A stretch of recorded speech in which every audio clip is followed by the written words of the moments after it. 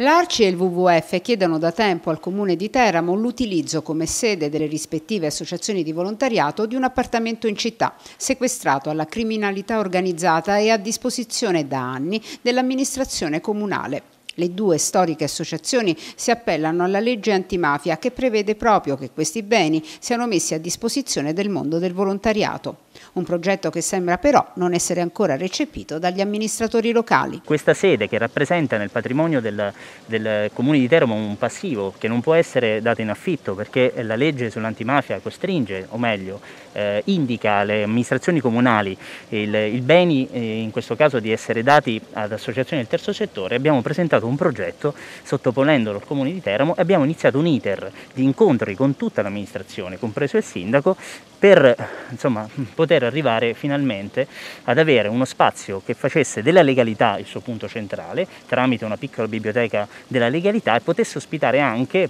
perché nel mentre il terremoto ha portato via anche la sede del WWF Teramo, il, i più di 2000 volumi del centro studi della Gramigna che sono un patrimonio della città stessa. Abbiamo sottoscritto al Comune di Teramo nella nostra proposta che tutte le spese di gestione di questo bene erano a carico delle associazioni, quindi